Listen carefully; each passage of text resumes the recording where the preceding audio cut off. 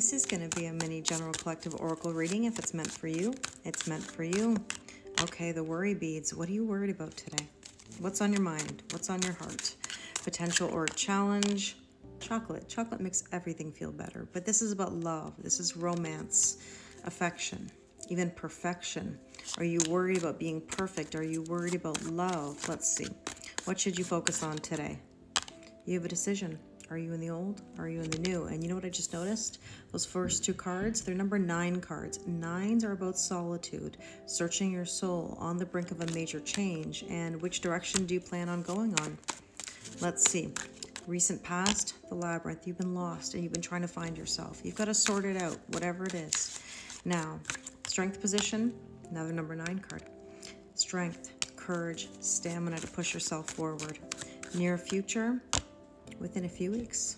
Hmm. Okay, well, we know the near future is within a few weeks, but the suggested approach, you're here to play chestnut checkers.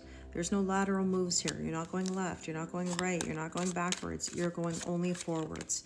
What do you need to know? You're a phoenix. Death and rebirth, total transformation. Uh, another number nine card. All nines. Interesting. Hope and or fear. Stop crying over spilled milk. You're worried you're going to be disappointed. You're worried you're going to be sad. Just because you've been hurt in the past does not mean you'll be hurt in the future. And your probable outcome, interesting.